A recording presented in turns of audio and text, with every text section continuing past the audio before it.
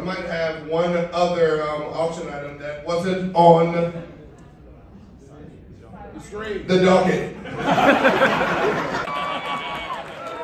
You've done this before. Here we go. Is it in? So just when I thought there wasn't any more footage from the Mahomies charity event with Taylor and Travis, more comes through. Check out these new clips. These chemicals hit me like I put so much uh, trust into Veach and uh, and Coach Reid and uh, and just what we have in Kansas City in terms of uh, the culture, you know. And I, I think that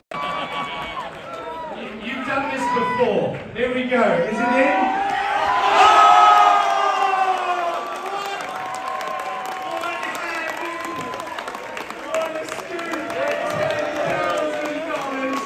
Absolute scenes here in Las Vegas.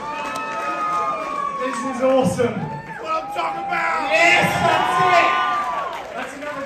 Look, you two can enjoy the moment that much. I don't think I've ever seen anyone enjoy spending ten thousand dollars more. This is the attitude we need. If we have anyone else that's ten thousand dollars, by the way, this is a five hundred one c three. It's fully taxed. everybody doing tonight.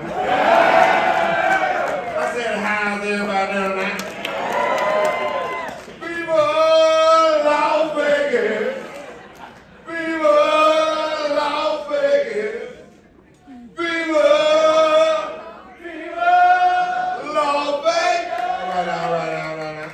Um, I think um, I was just talking to my significant other. and, uh, we might have one other um, auction item that wasn't on the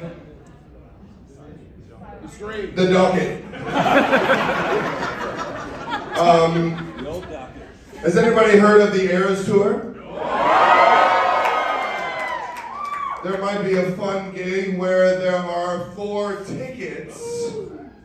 to the New Orleans, Miami, or Indianapolis dates when the Eras Tour comes back to the United States.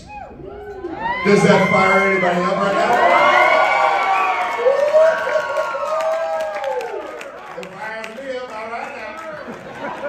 Um,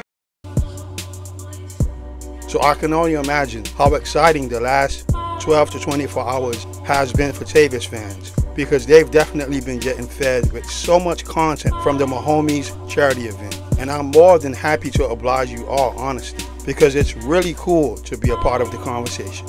And for more Taylor Swift related content, watch these next videos and subscribe.